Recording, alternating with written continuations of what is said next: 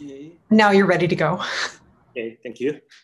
Uh, hello, everyone. Uh, welcome to the public key crypto session. Uh, I'm Hyung Terry and a co-chair of this public key cryptography session with uh, Carla Ràfols. Uh, this session consists, consists of two sub-sessions with a break. Uh, each sub-session has four, four papers. For each paper, we will take a five-minute presentation by the author and five-minute Q&A. Uh, during the author's presentation, uh, if you have any question, uh, please feel free to post your question on the chat room of Zoom or Zulip. Uh, the first talk is about uh, privacy preserving pattern matching on encrypted data. The, the authors are Anis Bkakria, Frédéric Cuppens, and uh, Nora Cuppens. And the speaker is Anis. Anis, are you ready?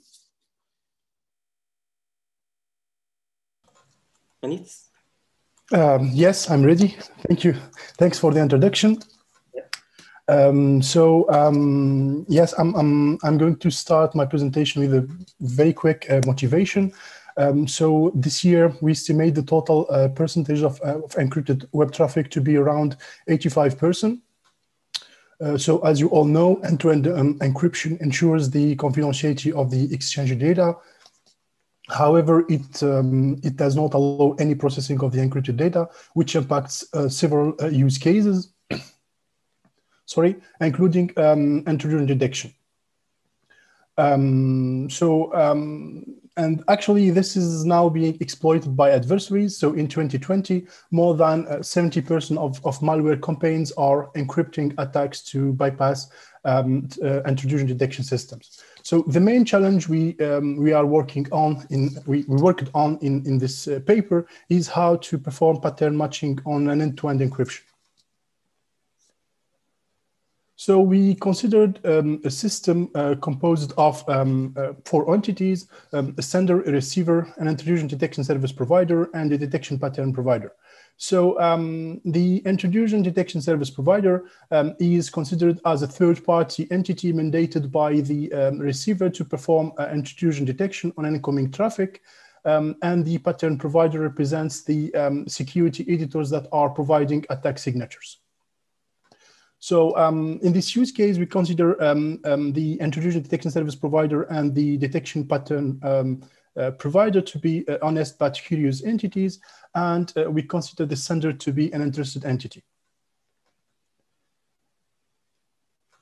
Um, so what do we know exactly about pattern matching on encrypted data? So um, we have um, BlindBox and blind BlindIDS, which are solutions that have been tailored for uh, signature-based intrusion detection on encrypted traffic um, these solutions are quite practical. Uh, however, they are um, useful only if all the patterns um, have the same size.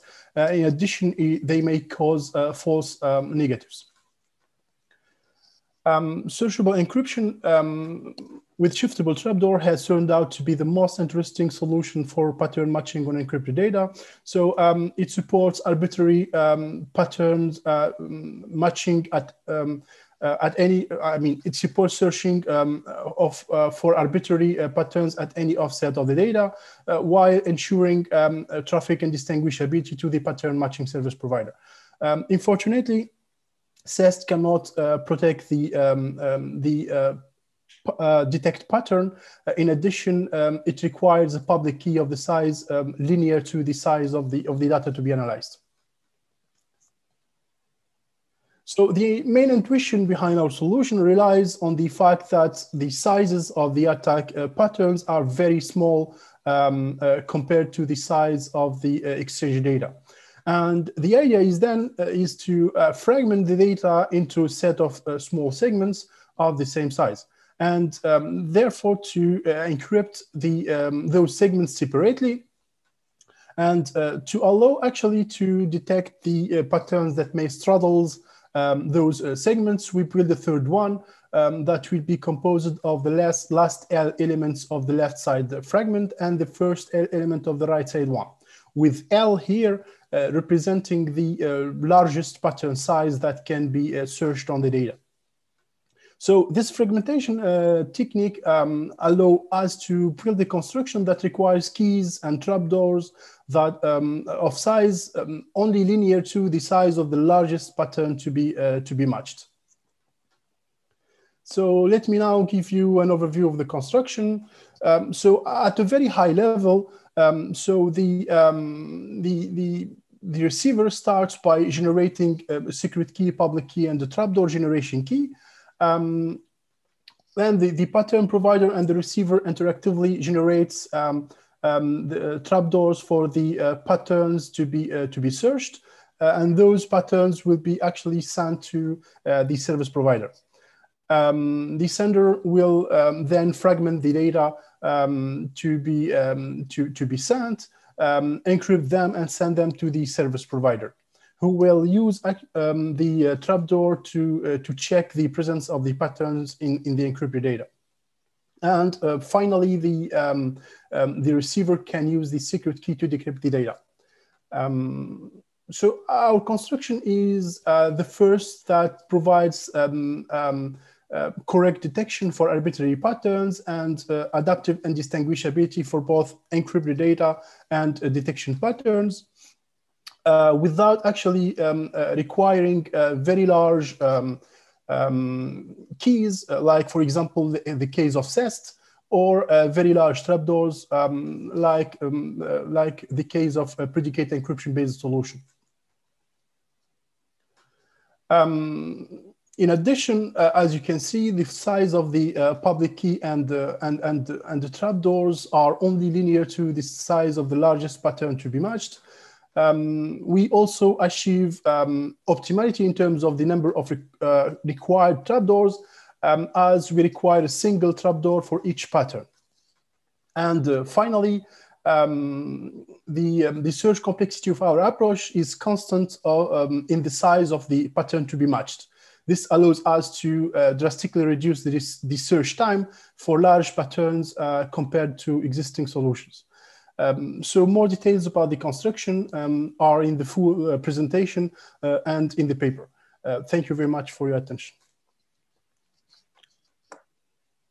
Okay, uh, thanks, Anis. Uh, and uh, there is no questions posted on the chat room, but I have one question. If my understanding is correct, your scheme supports exact pattern matching, right? Yes. Yes. So is it useful in uh, application scenario in application scenario uh, if we extend the range of match types to more complex one like uh, substring match or wildcard match?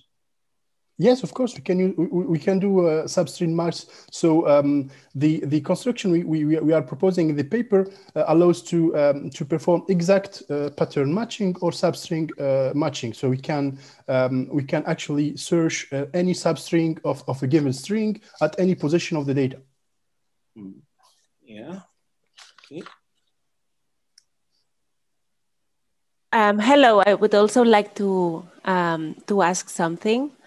Um, can you, is it easy to get rid of the pairings? Do you think you could achieve a construction without pairings?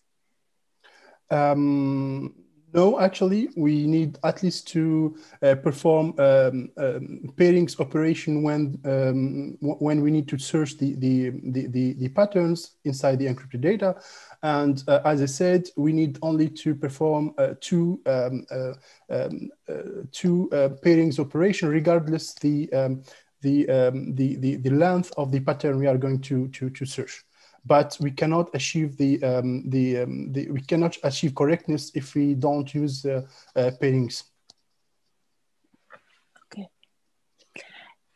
And what about um, other security models? Because you said you had some entities that were honest but curious.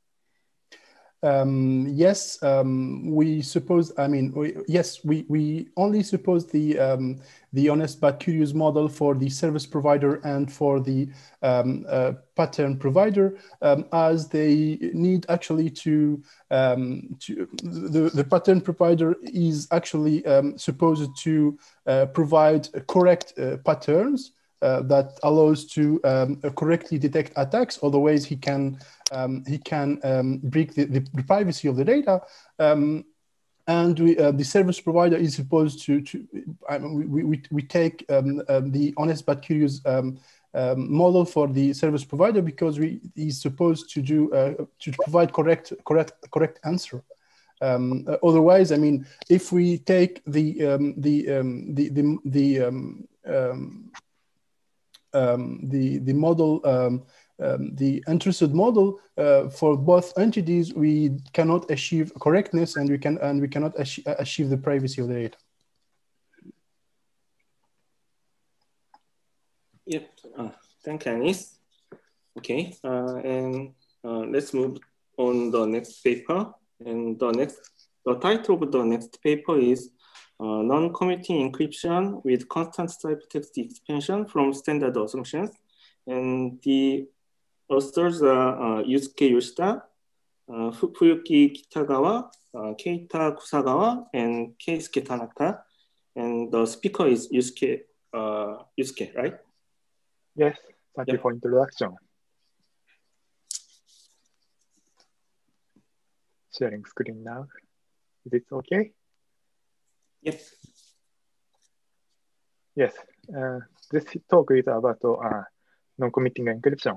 In short, NCE. This is joint work Fuichi Kitagawa, Kiski Kusagawa, and Keisuke Tanaka. So non-committing encryption is a public encryption scheme with a special security property.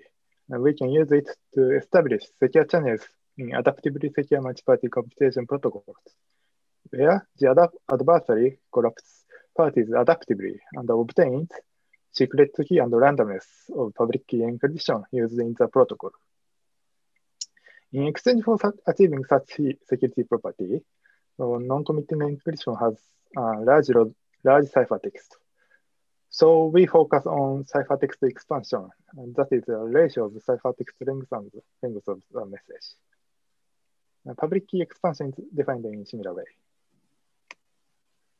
In our previous work of the last age crypt, we constructed NC scheme with order of lambda ciphertext expansion from a previously samplable version of Cameron encryption, and we instantiated it based on the DDH problem. In this work, we instantiate it based on the LW problem, and then use the Cameron encryption construct a non-committing encryption scheme with constant ciphertext expansion. But at first step, uh, the scheme is not actually not a full-fledged non-committing encryption. So we defined it as weak NCE. Then we show how to amplify weak NCE into uh, full-fledged NCE scheme while keep its ciphertext expansion constant. In this transformation, we use a primitive called wiretap codes. So this is a list of previous works. And our contribution is the first non-committing encryption schemes with a constant ciphertext expansion based on DDH or LWE problem. To be more specific, the constant is uh, approximately 27.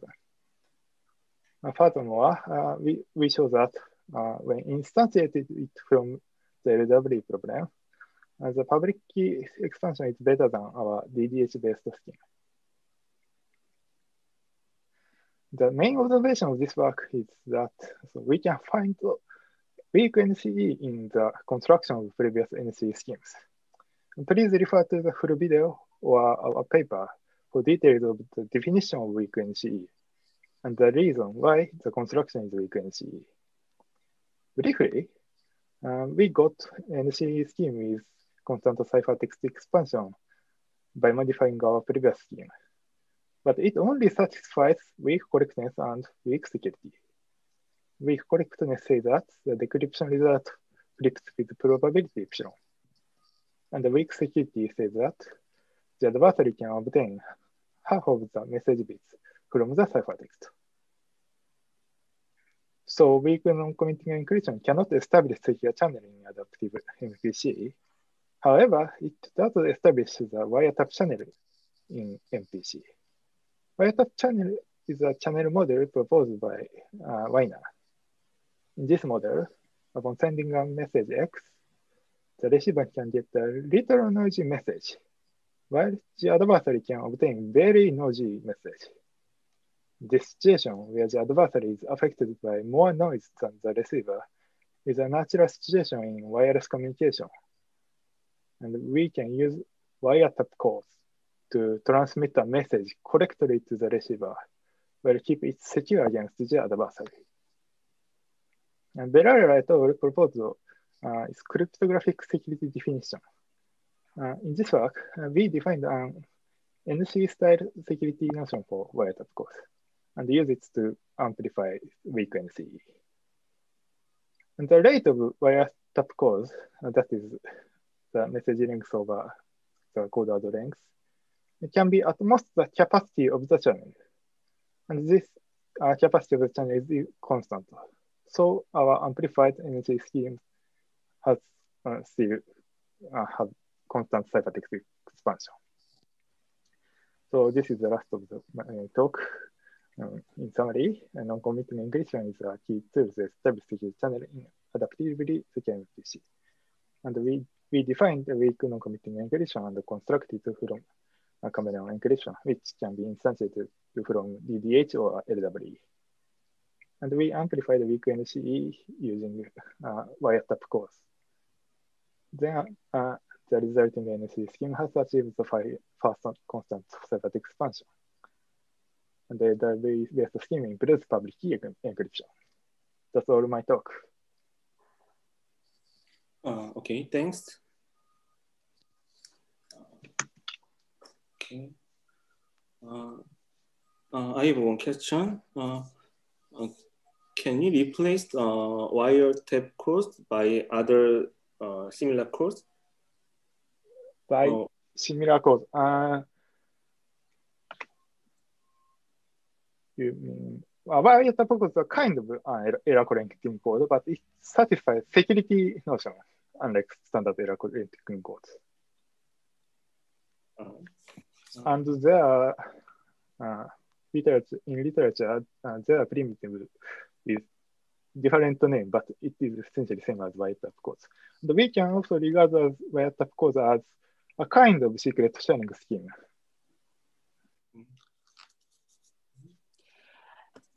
I, I would also like to ask a question.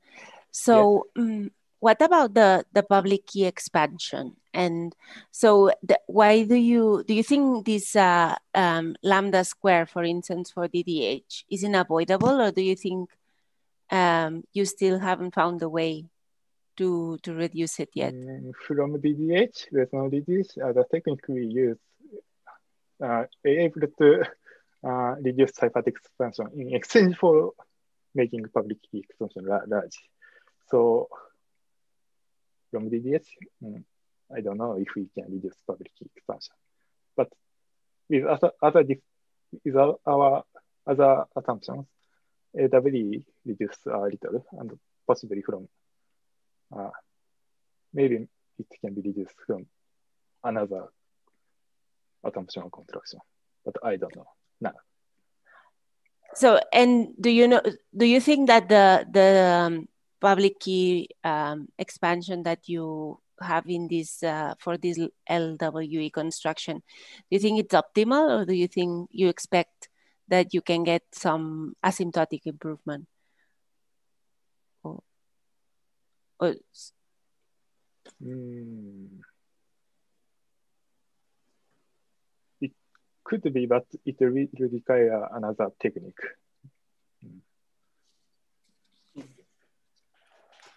Okay, so I don't see any further questions in the chat.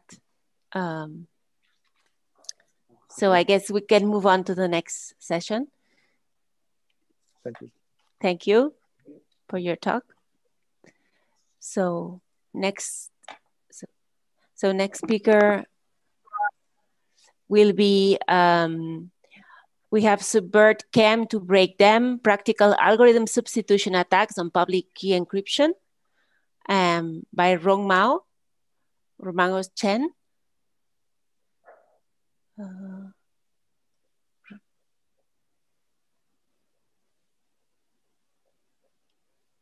Hi. So can you see my screen? Yep. Yes. Okay, so thanks for introduction. Um, uh, our talk uh, is about practical algorithms of substituting attack on public encryption, and it's, this is the joint work with uh, Xinyi Huang and Moti Yung. So first, sorry, let's um, at, Mao, sorry, your camera is switched off. I don't know if you, uh, it's on purpose, but it's switched off, your camera. sorry, wait a moment.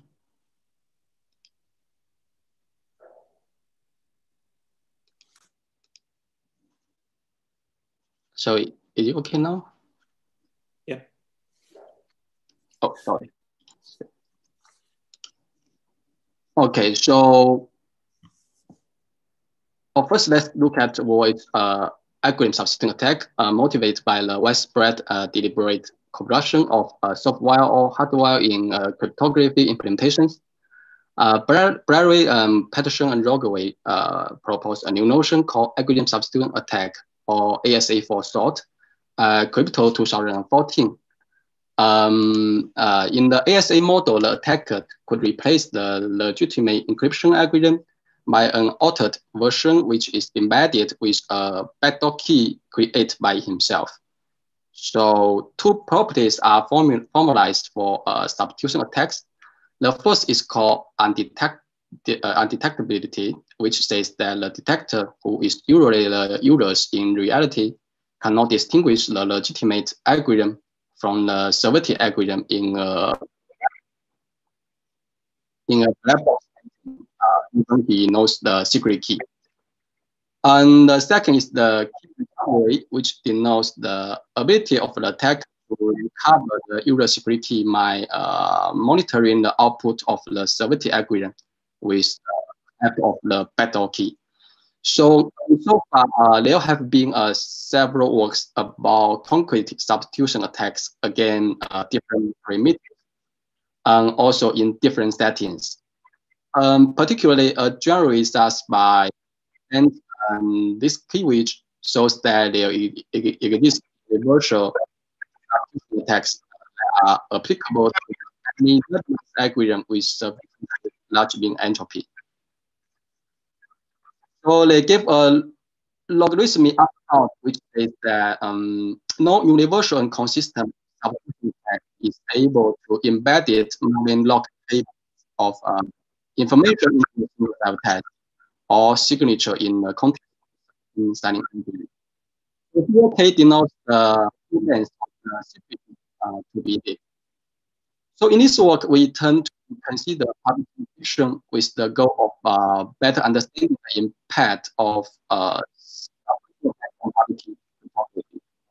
so a major difference from a symmetric primitive such as uh, symmetric encryption and digital signature, not involve the secret key. So the best possible goal for substitution attacks on public encryption algorithm is to recover the test. However, the current bit substitution attacks, especially the logarithmic uh, upbound uh, universal attacks, are quite inefficient for subverting the public encryption algorithm. The main reason is the the plain text is usually much longer and in different encryption sessions. And so the adversary needs to collect much more ciphertext to recover the whole plain text successfully. So in our work, we ask the following concrete questions. There exists efficient and robust substitution attack on public algorithm. Uh, the instances issues, uh, previous universal attacks usually need to maintain a global state to indicate of secret key to leak in each round. Uh, a state will persist for a much longer time if the uh, attack goal is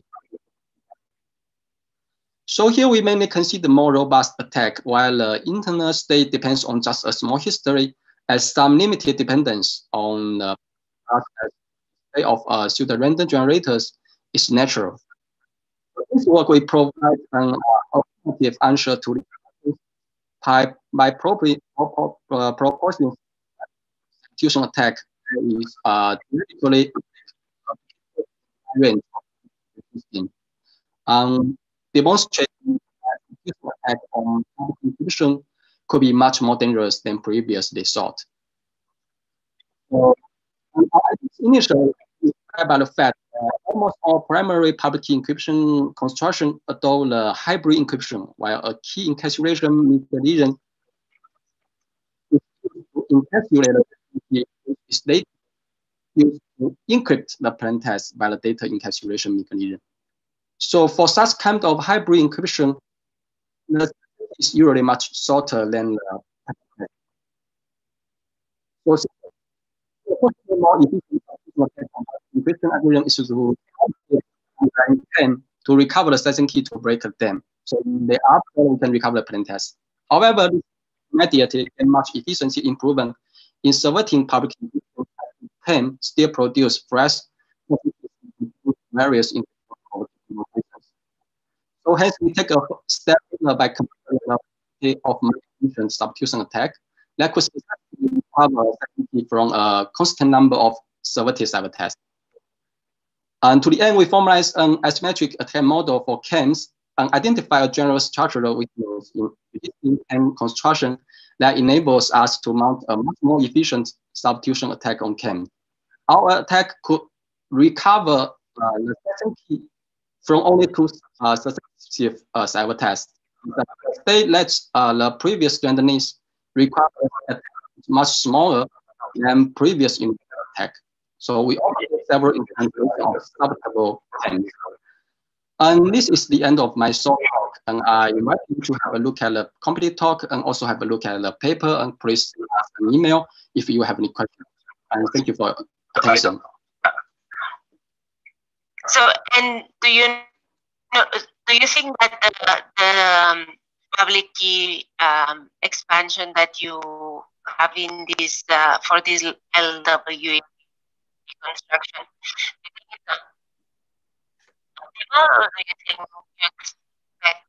That you some?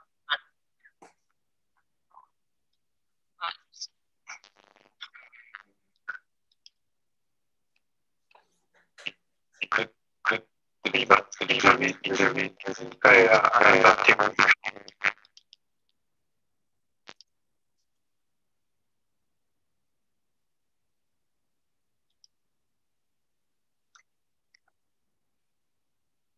Uh, sorry.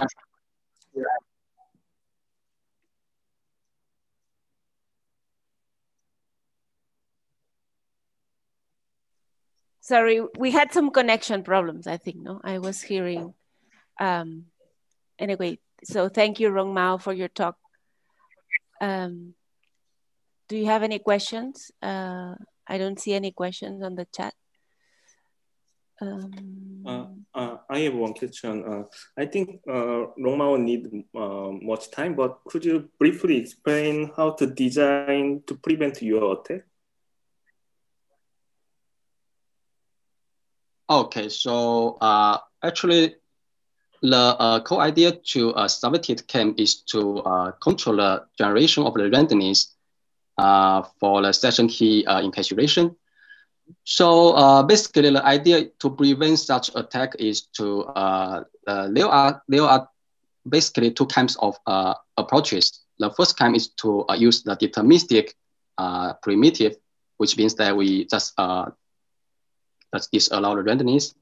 But as we know, such a, a, an approaches may may we, we weaken the security because randomness is crucial to reliable security. So the second approach is, to still permit it, uh, the randomness, but since such a subversion attack is so powerful, so we may need to rely on uh, some additional assumption, uh, like uh, we need to uh, rely on a trusted third party, or we need to rely on uh, like a separate uh, architecture assumption. So uh, um, that's my uh, to uh, roughly uh, uh, can yeah so I, I, uh, I also provide more details in my full version in the e-print show if you are interested, uh, interested in this uh, uh, topic, and you can uh, find some more details in, in the full version. Thank you. Oh, okay, thank you. Do you plan, so um, do you plan to extend these techniques for other public key um, primitives? So will you will you continue working on this with? Uh, yeah, but um, yeah, as far as I know, uh, there are some uh, extension work uh, after uh, after my, my my paper, but it's uh more uh, focused on the uh, like uh, the whole cryptography protocol. So as we know, uh, why I, I want to uh, investigate, investigate the study of the subversion attack about public key encryption is because the public key encryption algorithm does not involve the secret key. So, uh, but uh, if we uh, take a more full picture, uh, uh, like uh, for the application of public key encryption in the real, real world, so maybe in the full protocol, the, the assessed by the, the uh, the sub subversion attack it also uh, but as for me, but uh, I I'm now move, on to uh, uh, focus more on uh, preventing such attack. I like uh, what I just mentioned. So yeah, thank you. Yeah. Okay, uh, thank you. And uh, uh, the next talk is uh, efficient homomorphic comparison methods with optimal complexity. The third are uh, Jeong Cheon, Dong Kim, and Duhyeong Kim. And the speaker is Duhyeong Kim. Duhyeong? Okay, can you hear me? Uh, can you hear me? Yep. Yes. Okay. Okay, so um, hello, everyone. Um, uh, my name is Duhyeong Kim, and I would like to talk about uh, how to compute the uh, comparison operation in homomorphic encryption. And this is joint work with Professor Jeong Cheon and Dr. Dong Kim. Um, because it is a short presentation, uh, I would like to talk more about the motivation and high level idea of this work rather than some technical stuffs. Okay, so, okay. Um, as you know, the homomorphic encryption is a crypto system which allows uh, the computation on encrypted data without any decryption process. So it may uh, it as a perfect data privacy. But actually, there always exists um, some gap between theory and practice. What it means is that uh, uh in homomorphic encryption, it still has some limitations in computational efficiency. And the uh, one of the main reasons for this uh, factor is actually the the basic homomorphic operations are restricted. Um, so um, uh, in, at a high level, uh, we can classify the homo, uh, encryption method in homomorphic encryption by word-wise approach and bitwise approach. So in word-wise approach, the, it basically supports addition and multiplication, but it is not good at uh, logical operations, including comparison. On the other hand, in bitwise approach, um, it basically supports uh, logical operations, but it is not good at addition and multiplication, so polynomial uh, evaluation. So in this paper, uh, we focused on this word-wise approach, and uh, our goal is to ensure that the word-wise approach is still efficient, even when the polynomial evaluation and logical operations are, uh, both of them are required, uh, uh, which actually uh, happens in most of the real world applications quite often.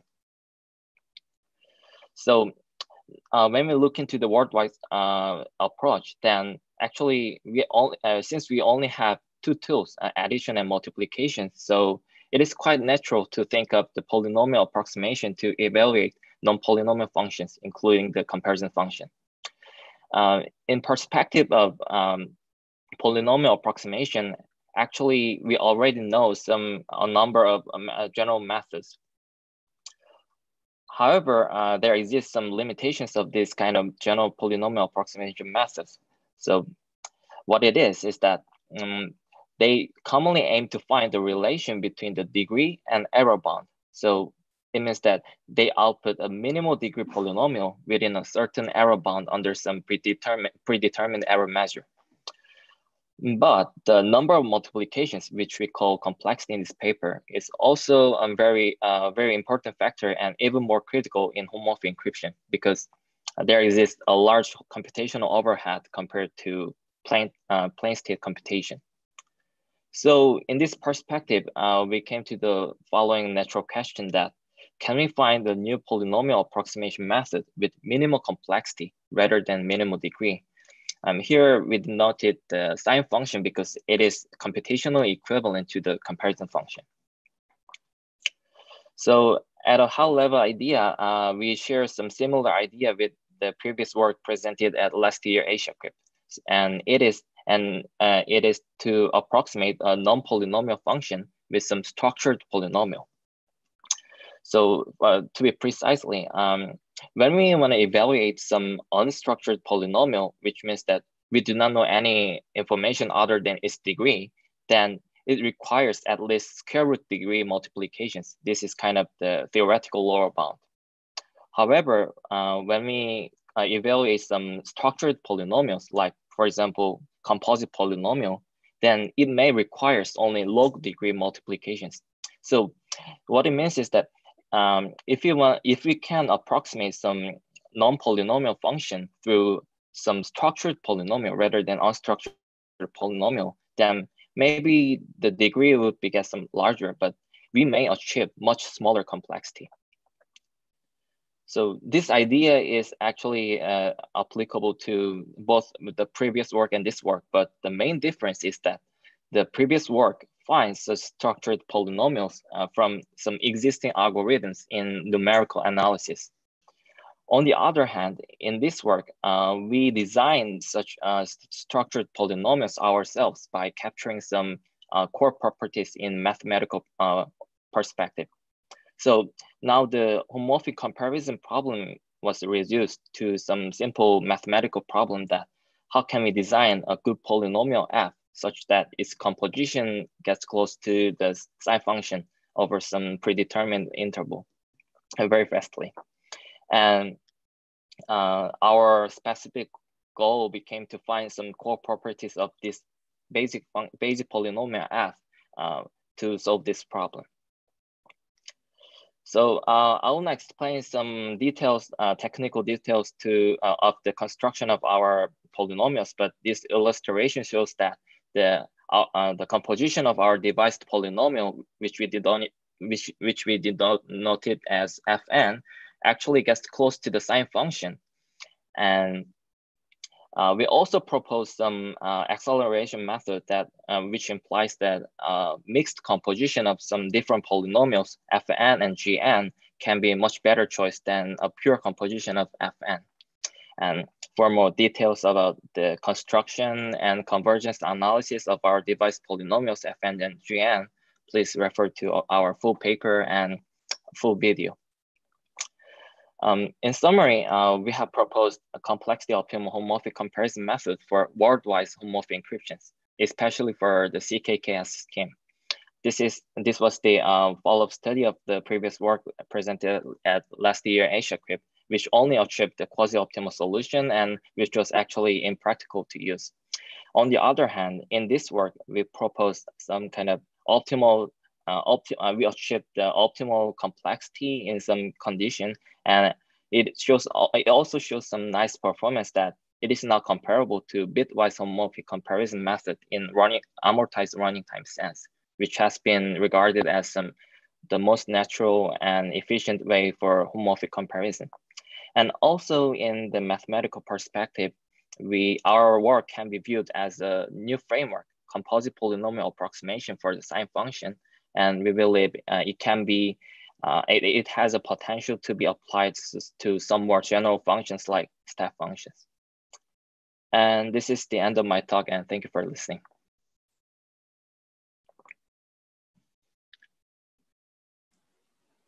Um, thank you very much for your talk.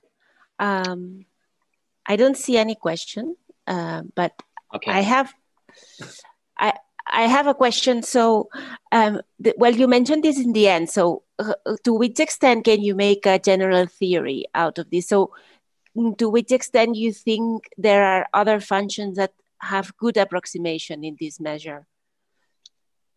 So uh, actually, uh, in this paper, we just targeted the sign function for uh, through the composite polynomial approximation. But uh, when we think of some uh, nature of this approximation method, we believe it can be naturally extended to some step functions.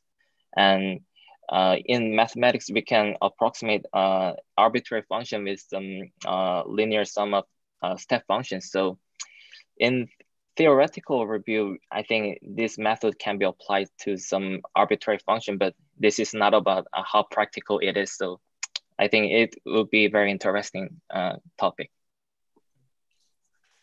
Uh, I have one more question. Uh, okay.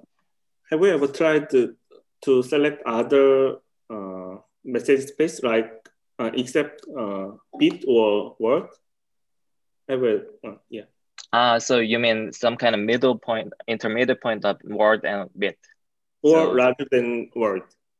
Uh, yeah, yeah. So um, actually, uh, at least in this work, we haven't considered some kind of um, some cryptographic situation, uh, cryptographic different situations like uh, the difference in message space. We just focused on some uh, uh, when we have restriction that we only what we only can do is addition and multiplication, then what what is the most efficient way? So I think uh, like for example in VB and BGV, there's message space like um, with modulo P, and in that kind of situation, um, we can consider some more uh, uh, more way like because we have now we have addition and multiplication and modular operation. So I think uh, considering this kind of some new stuffs can be uh, uh, some extension of this work, okay. but not included in this work.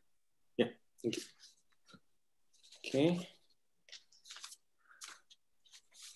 So I guess it's we have to move to the next session. Thank you. Thank we thank all the